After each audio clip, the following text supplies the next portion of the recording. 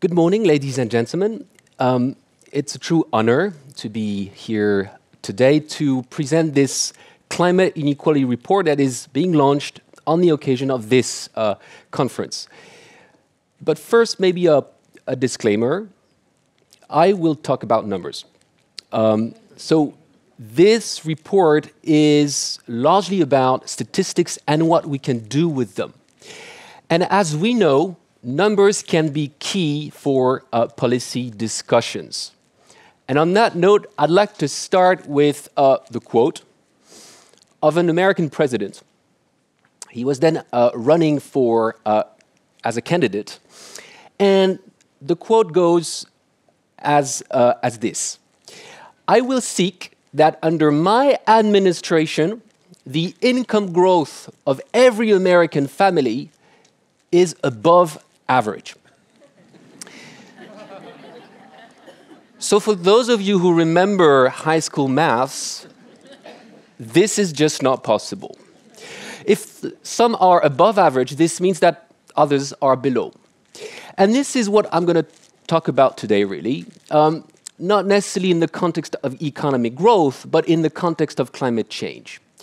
And this report is actually drawing from a burgeoning literature from the scientific uh, side, from the social sciences, from the environmental sciences that look at climate inequality. So we've reviewed hundreds of research papers. We're also doing uh, research on this topic ourselves, and we come up with this report for one reason. We think, and I think this vision is also shared by uh, the NORAD and the UNDP, who were kind enough to uh, support this report, that this research so far uh, does not find enough policy translations, uh, policy uh, declinations. And so this is what I would like to talk about today.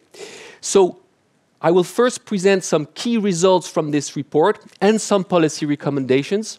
And then my colleague Philippe Bothe will look at two other key dimensions of, uh, that come from recent research on the topic. So let me start with some of the main key statistics that I was uh, alluding to just a few minutes ago. What you see here is the triple climate inequality crisis, as we call it, with three colors on the screen red, green, and blue the red bars show the inequality in relative income losses due to climate change. And this bar shows that most of these losses will be concentrated among the global bottom 50%. So that's half of the population. That corresponds more or less to the poorest part of the world population that will be getting 75% of all these relative income losses. I'll say a few more words about that in a minute. The green bar is the inequality of emissions. Those who are impacted the most are not those who pollute the most. And this is also very clear from this graph. The global bottom 50% of the population contributes to just about 12% of all emissions. And then there's another inequality here, which is also key, and I think critical for when it comes to policy solutions. Those who have capital, those who own wealth in, on this planet, the firms, the financial instruments that can help us to uh, accelerate the transition are those who are impacted the least. 75% of wealth ownership is concentrating, concentrated among the top 10% of the world population. Now, back to what I was saying just before about averages. If everybody was average, then the shares of the different bars for, for the bottom 50% should be exactly 50%. And the values for the middle 40% should be exactly 40%. And for the top 10%, it should be 10%. So we see here that there are huge variations above and below these averages. These variations happen between countries, and we know we're starting to know this very well. You see here that some countries will be more impacted than others when it comes to the GDP losses associated with climate change. Those countries in red are the most impacted. But we're also starting to know very well that within countries, inequalities are also stark, they are also important and sometimes extreme. The poor, it is now systematically shown, lose more than others due to climate shocks. And we'll say a few more words about that in the second part of this presentation. Um, now I'd like to come to one of the novelties of this field of work, this field of research, and this is what is illustrated on this graph. You see here the carbon emissions associated with poverty alleviation, different ways to look at poverty, the extreme poverty of $1.9 per person per day, up to the $5.5 per person per day. Eradicating poverty will be associated with the construction of roads, with the construction of hospitals and schools, and this will have an impact on global carbon budget. But this impact remains relatively limited when we compare it with the huge emissions of the global top 1%, which is presented here on the red bar. So the point here is to say that sometimes we hear in the global north messages that go like, well, in fact, it doesn't really matter how fast we reduce our emissions because everything in the end is going to happen in the global south. Because this is where, you know, the emerging middle class is going to explode the global carbon budget. This is just a little reminder that uh, emissions of a tiny fraction of the global population matter, and they matter pretty much. I'd like to turn to the third part of the climate inequality that I was referring to in the first graph that I presented. This is the inequality of the blue bars, the fact that capital ownership is very unevenly distributed. The pre previous presentation also made that clear. Access to capital in Africa, for instance, is very difficult. So this is an extreme case of what economists might call a market inefficiency. Those who have the, the, the, capacity to adapt, the capacity to invest, largely underinvest in solutions, largely underinvest in adaptation, in mitigation, at home or abroad. And so this is why um, um, we call in this report for more government intervention to solve these market failures. And so what do we recommend? At least three key blocks uh, are discussed much more at length in this report. First, improving climate inequality measurement systems. We still don't know enough about inequality numbers beyond averages. As researchers, we propose methods, we propose new indicators, but we can collectively do much better. Second, rich countries need to honor their climate finance pledges. And here we also need to think outside the box. We need to think about new revenue sources, and we make proposals in that direction. It's not all going to happen as transfers from north to south, even though they are key, they are important. The development of national tax capacity in the global south is also uh, paramount. But here, countries of the global north also have their own responsibilities. For instance, when it comes to making sure that their own multinationals are not stealing the tax resources of countries of the global south. Fourth, it's not just about getting more revenues, it's also about spending more and better on social ecological protection. And there are starting to be very many great examples of how this can be done in low and middle income countries. And fifth, it's important as much as it's important to better measure climate inequalities of emissions, it's also important to better measure the inequality impact of climate policies themselves. And so far, we're still focusing too much on measuring the average effects of our policies, whether on the economic domain or on the climate uh, side of the policy agenda. So here, just one uh, graph to show that when I talk about thinking outside the box, this is what it might uh, mean. The global community has been discussing over the past few years about a global multinational tax deal to make sure that multinationals pay their fair share of taxes, that there's less tax evasion. Well, this deal, as you can see on this graph, is actually largely favoring high income and upper middle income countries. And basically, you don't see much revenues for low income and lower middle income countries as a result of that deal. And this has created discontent among low and middle income countries for that precise reason.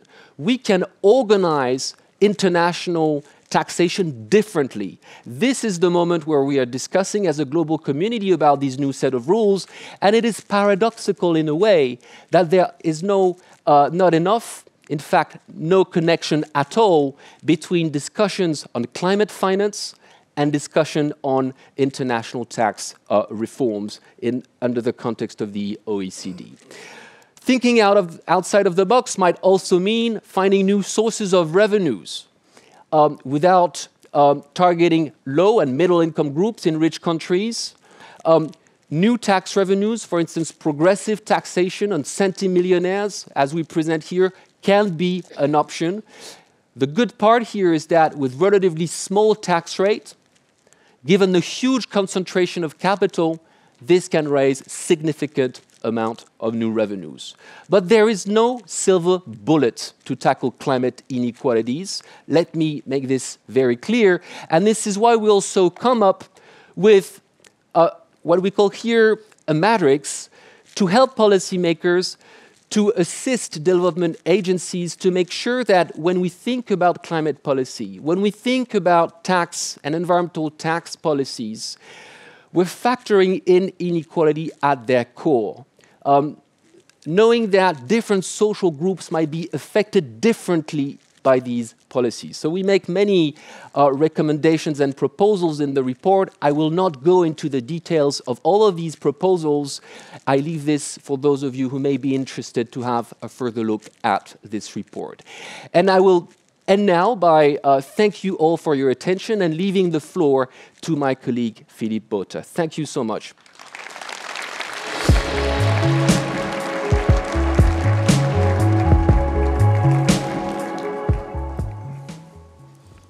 Thank you very much, Luca. And so, as Luca has already mentioned, part of what we're trying to do in this report is to synthesize the latest research on climate inequality. And what I want to do in the few remaining minutes is to give you a bit of an insight into some of the those papers that we're drawing on for our report. So here I want to take you back to this graph that you've already seen. And I want to take a bit of a deeper dive into two of those dimensions here, which are notably the losses and the emission side. So here's a result from another paper that also came out last year that tries to quantify inequalities in carbon emissions.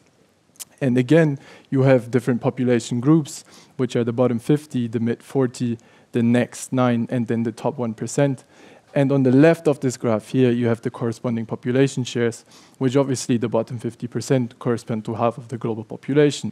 So those are really here to put the other side of the graph into perspective, which shows the corresponding shares in global emissions. So as Luca already said, if emissions were equally distributed in the world, the bottom 50% should account for 50% of the emissions. However, what we see is they're only at 10% down here, so at one fifth of what they would have in a globally distribu equally distributed scenario. And then at the other side of the distribution, the top 1% account for roughly 15% of global carbon emissions, and the top 10% taken together are almost responsible for half of all global carbon emissions. So there's obviously two dimensions to this inequality here. There's the between country dimension, which is sort of is well known by today. Rich countries in the global north tend to pollute extremely heavily and much more than low income countries in the global south. But there's a second dimension to this, and that's the within country dimension, which is something that's coming to the forefront more with these recent papers. And it's actually true that we see that over the recent years, the within dimension of climate inequality has taken over as the main driver of global carbon inequality. So what do these numbers mean? Well, basically, they mean that we have a relatively small fraction of the global population that is mainly causing the climate crisis. And so, what does this imply for mitigation policy? Well, it implies that if you want to be serious about mitigation, and if you want to do it in an equitable way, you cannot be fiddling around with those 10% down there if you're not willing to get at the big chunks at the thick end of the distribution which is, of course, not to say that we don't want clean energy access. We do need leapfrogging of dirty technologies, but we really need to take a look at the consumption and the investment patterns of a relatively small fraction of the global population. And that's also what the IPCC is saying in its latest report. So that's on the emission side. Now let's look at the damages. And this is a result that Lucas has already mentioned.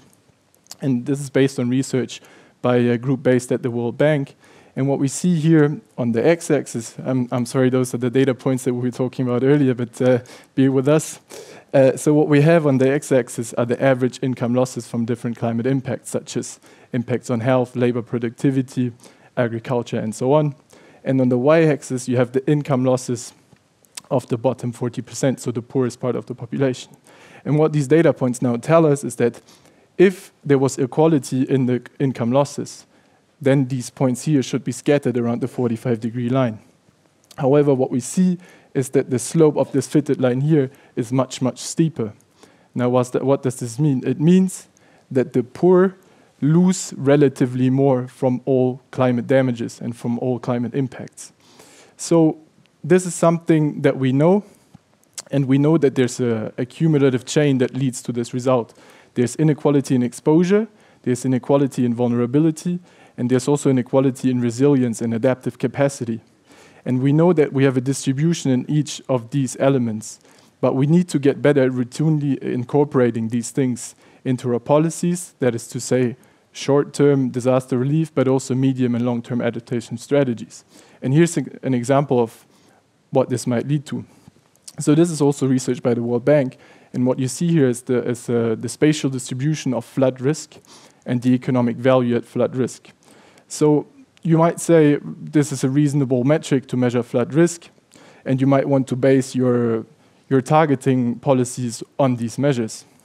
And I'm not saying that this is it's not a sensible metric, but let me show you another map where if you factor in the poverty dimension, all of a sudden the map looks very, very different. And what we see here is the share of population at the subnational level that is exposed to significant flood risk and poverty below the 5.5 dollar line.